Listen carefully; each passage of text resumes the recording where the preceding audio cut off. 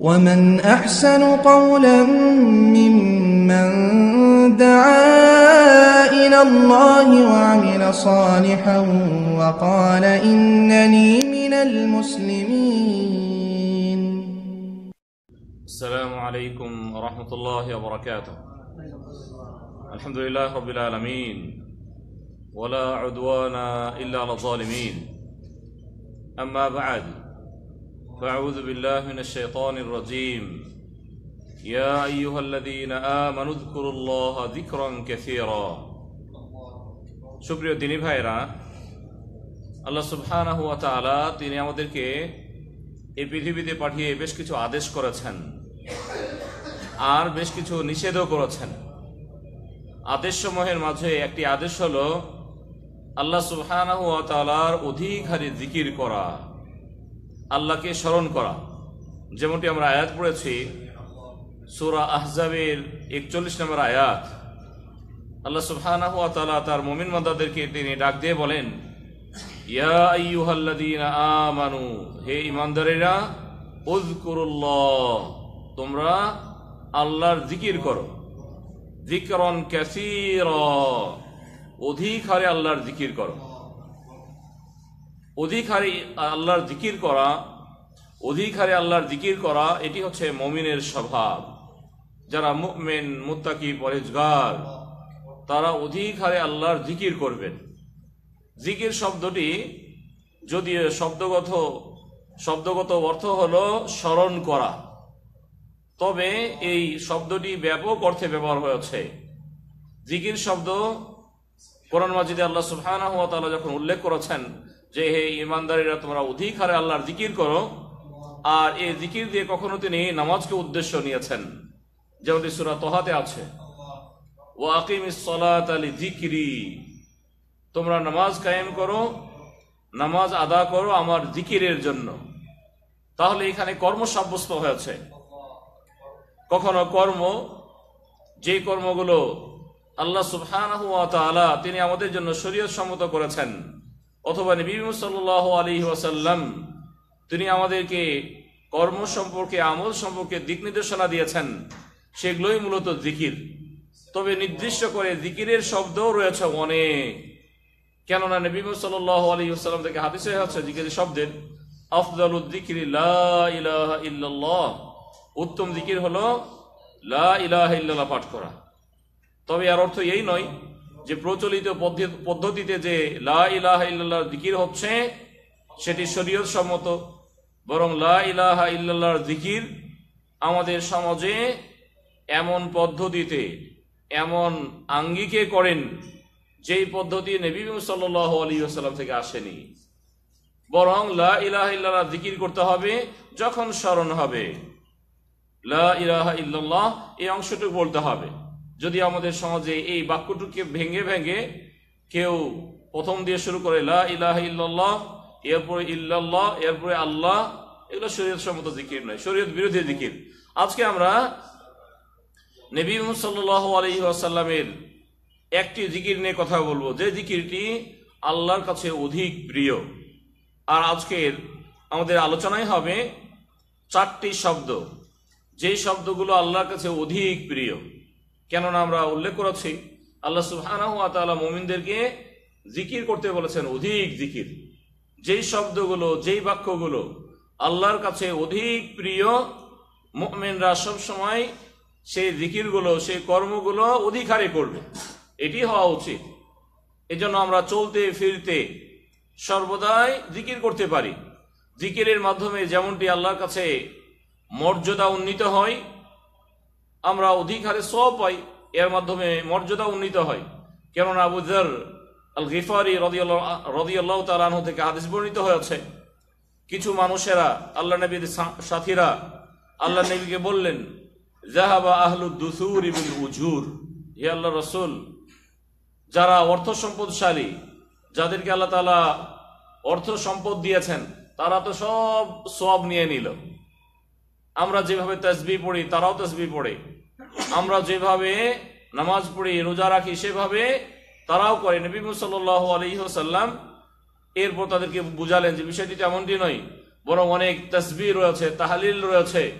যে তসবি এবং তাহালিলের মাধ্যমে আমরা অধিক হারে আল্লাহর সন্তুষ্টি অর্জন করতে পারি সব অর্জন করতে পারি। যত তসবি রয়েছে, বেকুল্লি তসবি হাতিন সদাকাহ, আল্লাহ নবী বলেছেন যে প্রতিটি তসবিতে আল্লাহ তারা সোয়াব দান করেন সদাকা রয়েছে অবি তাহমিদাতিন অবি কুল্লি তাহমিদাতিন সদাকাহ আল্লাহর গুণকীর্তন করা, আলহামদুলিল্লাহর যত শব্দ রয়েছে, বান্দারা যখন উচ্চারণ করে, এতে কিন্তু আল্লাহ তাআলা সোয়াব লিপিবদ্ধ করেন। এর মাধ্যমে তাহলে মান মর্যাদা উন্নীত হয়। এজন্য যে বেশি তসবি তাহালিল পড়ে, সে আল্লাহর কাছে অধিক প্রিয়। তার মাঝে ফরায়েদ, যে আমলগুলি ফরজ, সেগুলো তো রয়েছে। সাথে সাথে তিনি অধিক হারে তসবি পড়েন। সবসময় তার মুখ আল্লাহর দিকিরের মাধ্যমে দিকির উচ্চারণ করতে যে ভিজা থাকে, সবসময় তিনি সুবহান আল্লাহ আলহামদুলিল্লাহ, আল্লাহ আকবর ইল্লাল্লাহ। এছাড়া যত দিকির রয়েছে, আমরা যেহেতু আজকে এই সম্পর্কেও বলব, নবী সাল্লাহ আলী ওসাল্লাম থেকে হাদিস বর্ণনা করেছেন সামুরা বিন জুন্দুব রদিয়াল্লাহ তালানহু তিনি বলেছেন, নবী সাল্লাহ আলী ওসাল্লাম ইরশাদ করেন আহাবুল কালামি আরবাউন। আল্লাহর কাছে অধিক প্রিয়, অনেক অনেক প্রিয় পছন্দের কথা হলো চারটি। এরপরে নবী আলাইহি বলেছেন বাদাতা এই চারটি শব্দের যে কোনো শব্দ দিয়ে তুমি শুরু করতে পারো। চারটি শব্দ আল্লাহর কাছে প্রিয়। এরপরে নবী আলাইহি ওয়াসাল্লাম শব্দগুলো তিনি উচ্চারণ করেছেন। সুবহান আল্লাহ আলহামদুলিল্লাহ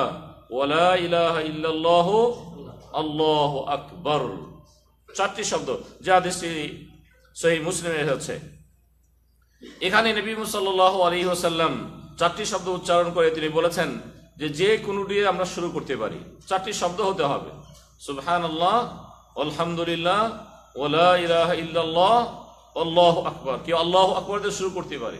আল্লাহ আকবর সুবহান আল্লাহ আলহামদুলিল্লাহ এইভাবে শুরু করতে পারে, কোনো সমস্যা নাই। যে চারটি শব্দ আমরা উচ্চারণ করেছি, আল্লাহ সুবহানাহু ওয়া তাআলার এখানে গুণ বর্ণিত হয়েছে। আল্লাহর জিকির হবে এমন শব্দ দিয়ে, যে শব্দগুলো অর্থবোধক, যার দ্বারা পরিপূর্ণ অর্থ বোঝা যাবে। কখনো লা কখনো আল্লাহ আল্লাহ আল্লাহ। এ ধরনের জিকির দিয়ে অর্থ পরিপূর্ণ হয় না, বাক্য পরিপূর্ণ হয়নি। কেউ যদি শুধুমাত্র আল্লাহর জিকির করেন, আল্লাহ আল্লাহ, তাহলে এটি আল্লাহর জিকির হবে না। কেননা আপনি আল্লাহকে কি বলতে চেয়েছেন? আপনি আল্লাহর মর্যাদাও বর্ণনা করেননি, তার প্রশংসাও করেননি, তার কাছে কামনাও করেননি, তার কাছে আশ্রয় কামনা করেননি, আপনি কিছুই বলেননি, শুধু আল্লাহ বলে থেমে গেছেন। না, এটি হলো না। এটি জিকিরের শব্দ নয়। এজন্য নবী সাল আলহি ওয়াসাল্লাম শুধু আল্লাহ বলে জিকির করেছেন, এই মর্মে কোনো হাদিস প্রমাণিত হয়নি। এজন্য কেউ যদি জিকির করেন, আল্লাহ আল্লাহ, তাহলে এটি জিকির নয়। এটি শরীয়তি জিকির নয়, বরং এটি বেদাহাতি জিকির। এ জিকিরের মাধ্যমে গুণাগার হবে ব্যক্তি। হ্যাঁ যখন আমরা আল্লাহ আল্লাহ তাআলার এই মহান নামকে সামনে অথবা পিছনে এমন শব্দ উচ্চারণ করব, লাগিয়ে নেব, যার দ্বারা অর্থ পরিপূর্ণ হবে। তখন সেটি আল্লাহর জিকির হবে। যদি কেউ আল্লাহকে ডাকে, তাহলে বলতে হবে, হে আল্লাহ, ইয়া আল্লাহ। আরবি শব্দ, ইয়া। ইয়া একটি শব্দ, যে শব্দ আহ্বানের ক্ষেত্রে আমরা ব্যবহার করি। হে অমুক, আমরা নাম বলি, হে অমুক। শুধুমাত্র তাকে ডাকতেও হবে আমরা এমনি তার নাম উচ্চারণ করছি, এমনটি কিন্তু হয় না। বিশেষ করে আল্লাহ তাআলার এই নাম আল্লাহ তিনি শিক্ষা দিয়েছেন যে চারটি শব্দ, যে শব্দে আল্লাহর নাম ব্যবহার হয়েছে, সুবহান আল্লাহ। আল্লাহ শব্দ কিন্তু আছে। প্রথমে কি লাগানো হয়েছে? সুবহান। তিনি মহাপবিত্র, তিনি পুত পবিত্র আল্লাহর মর্যাদা বর্ণিত হয়েছে। আল্লাহর মর্যাদা বর্ণিত হয়েছে। এই নামটি এত মহৎ, এত অর্থবোধক যে বান্দা তাওহিদের সর্ব উৎকৃষ্ট এক, একটি তাওহিদ বা আল্লাহর স্বীকৃতি প্রদান করেছে, যে তিনি হলেন, আল্লাহ হলেন সকল ধরনের সকল ধরনের ত্রুটি থেকে মুক্ত। যত ধরনের ত্রুটি রয়েছে, এজন্য আইতাল কুরসি মহান যে আয়াত যেটি আল্লাহ লা ইলাহা ইল্লাহু আল হাইয়ুল কাইয়ুম, এই এই আয়াতটি এজন্য মহান, এজন্য মর্যাদাপূর্ণ, অধিক মর্যাদাপূর্ণ অন্য আয়াতের চেয়ে যে এখানে আল্লাহ সুবহানাহু ওয়া গুণ বর্ণিত হয়েছে। এমন গুণ বর্ণিত হয়েছে যার দ্বারা তার মর্যাদা স্পষ্ট হয়েছে, উন্নীত হয়েছে। আল্লাহ সুবহানাহু বান্দার যে গুণগুলি রয়েছে ত্রুটিপূর্ণ গুণ, সে গুণ থেকে তিনি পুত পবিত্র। আল্লাহ ইলাহা ইল্লা হুয়াল হাইয়ুল কাইয়ুম, লা তাখুযুহু সিনাতুন ওয়ালা নাওম তাকে তন্দ্রা, মানুষের যে ঘুম ভাব এই ঘুম ভাবের তন্দ্রা যেটি এটি আল্লাহ সুহামতাল্লাহকে স্পর্শ করে না। আর তিনি ঘুমানো না। এখানে বর্ণিত হয়েছে, গুণ তার সুবহান, আমরা পবিত্রতার গুণ বর্ণনা করেছি। আল্লাহ সুবহান তাআলা গুণ বর্ণনা করেছি, তিনি হলেন পুত ও পবিত্র। যত ধরনের নাকা এস রয়েছে, অসম্পূর্ণতা রয়েছে, যত ধরনের ত্রুটি রয়েছে, মানুষ সবাই ত্রুটিপূর্ণ।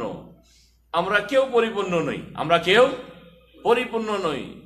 এই জন্য সুরা ফাতে সুরা সুরা ইখলাসে আল্লাহ সুবহান সেখানে তার পরিচয় তুলে ধরেছেন। এখানে অনেকগুলো পরিচয় রয়েছে আল্লাহ সুবহান তালার তিনি অমুকাপেক্ষী কারোর দিকে তার কোনো প্রয়োজন নেই। কেন? তিনি হলেন পুত পবিত্র। যত ধরনের ত্রুটি থেকে, যত ধরনের অসম্পূর্ণতা থেকে, এজন্য আল্লাহর কাছে অধিক প্রিয় শব্দগুলো। এই জন্য অধিকারী বলতে হয় সুবহান আল্লাহ আল্লাহ পুত পবিত্র, আল্লাহ, তুমি তো মহান, তুমি তো পুত পবিত্র। যত ধরনের ত্রুটি রয়েছে, তোমার কোনো ত্রুটি নেই। তুমি ত্রুটি মুক্ত। তুমি ছাড়া পৃথিবীতে যা কিছু রয়েছে, বিশেষ করে মানুষ অনুরূপভাবে ফেরেস্তা মণ্ডলী, তাদের মাঝে অসম্পূর্ণতা রয়েছে। তারা মুখাপেক্ষী, অন্যের দিকে। আল্লাহর দিকে আমরা সবাই মুখাপেক্ষী। কিন্তু আল্লাহ তাআলা, তিনি তার সৃষ্টির দিকে কখনোই তিনি মুখাপেক্ষী নন। তিনি মুক্ত। এই জন্য আমরা আল্লাহ সুবহানাহু ওয়া গুণ বর্ণনা করি, সুবহানাল্লাহ, আল্লাহ, তুমি পুত পবিত্র। এরপরে আমরা বলি আলহামদুলিল্লাহ আল্লাহর প্রশংসা। যত প্রশংসা রয়েছে, যত গুণকীর্তন রয়েছে, একমাত্র গুণকীর্তন পাওয়ার অধিকারী হলেন আল্লাহ তাআলা। কেননা তিনি সকল দাতা।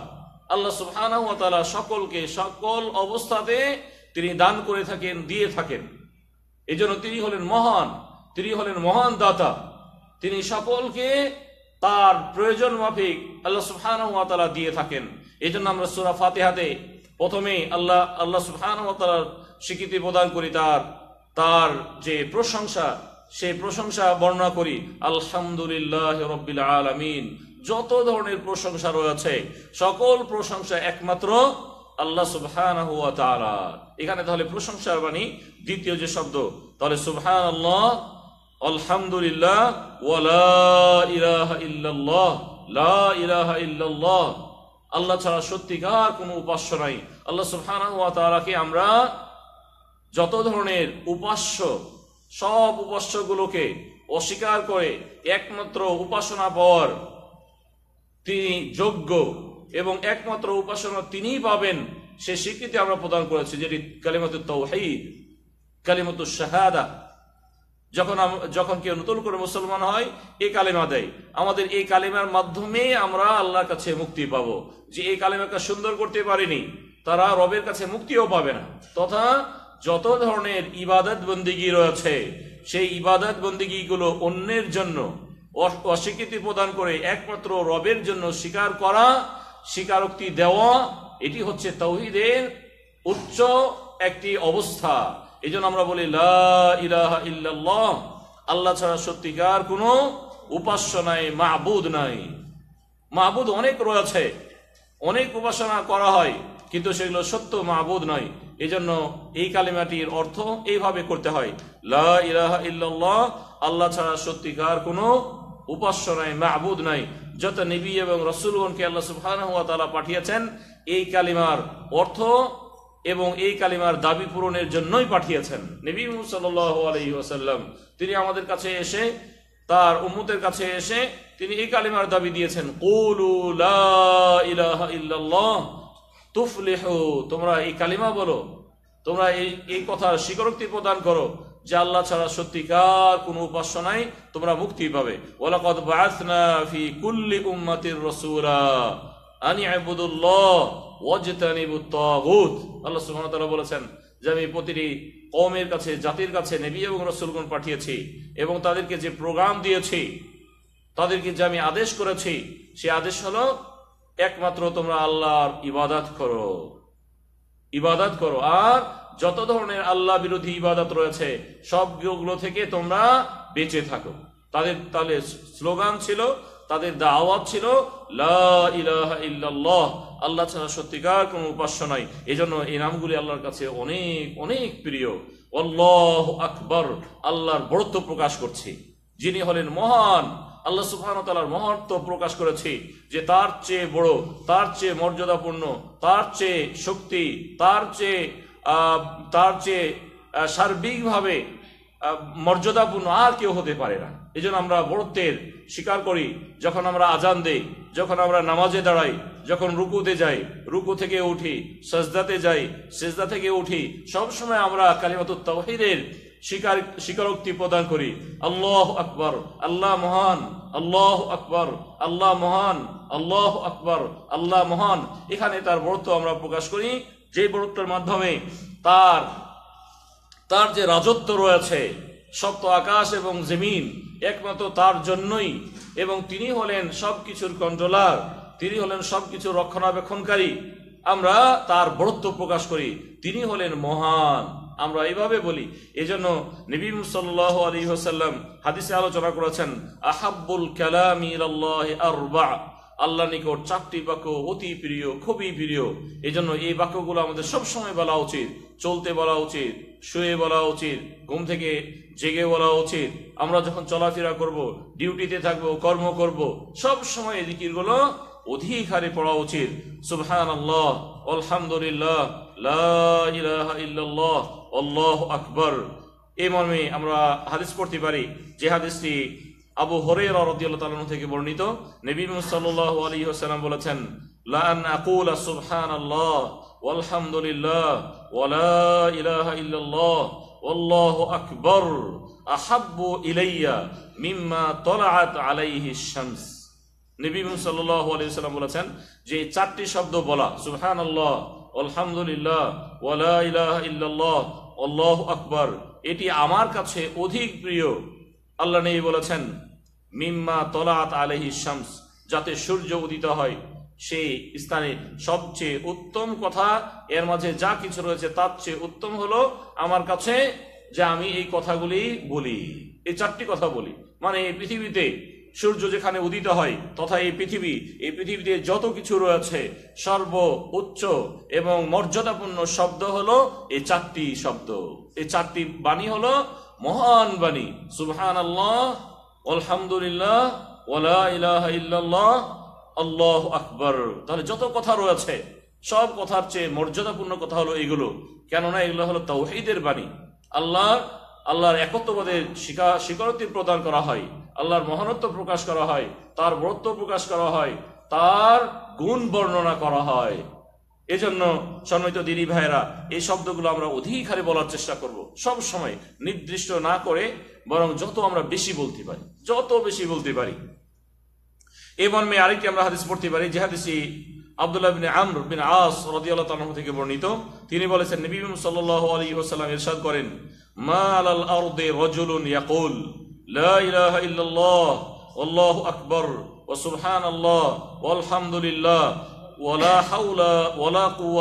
ইল্লা চারটির সাথে আরেকটি শব্দ বর্ধিত হয়েছে, লা ইল্লা বিল্লাহ। তিনি বলেছেন যে যে ব্যক্তি পৃথিবীতে এই কথাটি বলে, যেই বলুক না কেন, ইল্লা কুফিরাত তার সকল গুনাহ মোচন করা হয়, সুবহানাল্লাহ। তার গুনাহ মুছে দেওয়া হয়। ইল্লা কুফিরাত আনহু যুনুব যে তার গুনাসমূহকে মোচন করে দেওয়া হয়। ওয়ালাউ কানাত মিসলু জাবাদিল বাহার, যদিও সাগরের যে ফেনা, ঢেউ যে পরিপূর্ণ, তার যদি অন্যায় হয় মানে তার গুণা যদি অনেক হয়ে যায়, সাগরের ঢেউয়ের বা ফেনার সমতুল্য যদি তার গুণা হয়ে যায় এরপর আল্লাহ ওয়া তার গুনাহ খাতাকে মোচন করে দেন। সুহান আল্লাহ এই জন্য এই বাক্যগুলো শুধু উচ্চারণের সাথে সাথে আমাদের মর্যাদা উন্নীত হয় না। এমনি তো যতবার বলব, ততবার আমরা সব পাচ্ছি। অন্যদিকে এই শব্দগুলো আল্লাহর কাছে অধিক প্রিয়। আল্লাহ সুবহান তাআলা যে শব্দটি তিনি পছন্দ করেন, সেই শব্দটি তাকে ভালোবাসার দাবি রাখে যে সেই শব্দটি আমরা অধিকারী বলি। যদি আমরাকে ভালো, আমরা যদি আল্লাহকে ভালোবাসি, আল্লাহর সাথে যদি আমাদের কানেকশন থেকে থাকে, আমরা তার যে বান্দা, তিনি আমাদের রব। এই স্বীকৃতি যদি আমরা প্রদান করি, এই ভালোবাসার সম্পর্ক যদি গড়ি গড়ি, তাহলে আমাদের অধিকার এই শব্দগুলো বলা উচিত। কেননা নবী সাল্লাহ আলী ওয়াসাল্লাম এই শব্দগুলো বলেছেন এবং এর মর্যাদা তিনি বর্ণনা করেছেন। যদিও এই কালিমাগুলি, যে কালিমা চারটি আমরা উল্লেখ করেছি, এই চারটি কালিমার উপরে অনেক হাদিস বর্ণিত হয়েছে। অনেক হাদিসে হয়েছে এর মর্যাদা নিয়ে। এই জন্য সম্মিত দিনী ভাইরা যে চারটি কালেমা আমরা আজকে আলোচনা করেছি যে এগুলো উত্তম জিকির, এই জিকিরগুলো অধিক হারে আমাদের পড়া উচিত। কেননা যারা মেন মোত্তাকি, তারা তাদের আত্মায় প্রশান্তি, যত ধরনের শান্তি নেমে আসে আল্লাহর দিকিরের মাধ্যমে। তারা দিকির করলে মজা পায়। তারা জিকির করলে মজা পায়। যদি আপনি নামাজ পড়ে মজা না আসে, এই কালিমাগুলি উচ্চারণ করে মজা না আসে, এগুলো মন যদি উচ্চারণ করতে না চায়, তাহলে আপনার জানতে হবে আপনার কিছু ইমানি দুর্বলতা রয়েছে। ইমানি দুর্বলতা রয়েছে। কেন আল্লাহ সুবহানাহু ওয়া বলেছেন, আল্লাযীনা আমানু ওয়া তাতমাইন্নু কুলুবুহুম বিযিকরিল্লাহ, আলা বিযিকরিল্লাহি তাতমাইন্নুল কুলুব। যারা ইমান এনেছে, তাদের হৃদয়ে প্রশান্তি নেমে আসে আল্লাহর দিকিরের মাধ্যমে। জেনে রাখো, আল্লাহর দিকিরের মাধ্যমেই একমাত্র হৃদয়ে প্রশান্তি নেমে আসে। এই জন্য নবী সাল্লাহ আলহি আসাল্লাম তিনি তার কাছে কিছুটা হতাশা অথবা কোনো দুনিয়ার কোনো বিষয় যদি নেমে আসতো, সাথে সাথে তিনি দিকির শুরু করতেন। বিশেষ করে নামাজ নামাজ হলো উত্তম দিকির কোরআন তালাওয়াত হলো উত্তম দিকির বিশেষ করে তিনি নামাজমুখী হতেন। আরেহনা বিহায়া বিলাল, তিনি বলতেন যে, বেলাল, আরে আজানের সময় কখন, আজানের সময় কখন হবে, নামাজের সময় কখন হবে? এর মাধ্যমে হৃদয়ে প্রশান্তি পাই। কখন আজান হবে, কখন আমি প্রশান্তি লাভ করব? এই জন্য সম্মিত দিনী ভাইরা যে চারটি শব্দ আমরা আজকে উল্লেখ করেছি, আল্লাহর কাছে দোয়া করছি, আল্লাহ সুবহান তালা এই চারটি শব্দ অধিক হারে আমাদেরকে বলার তৌফিক দান করুন। এতে যে মর্যাদা বর্ণিত হয়েছে, আল্লাহ সুবহান তালার তার মর্যাদা বর্ণনা করা আমাদেরকে সুযোগ বা তৌফিক দিন। ও সাল্লাহ তালা নবীনা মোহাম্মদ ও ওয়ালা আলিহি ওসহবিহি ওসাল্লাম আসসালামু আলাইকুম রহমতুল্লাহি ওবরাকাত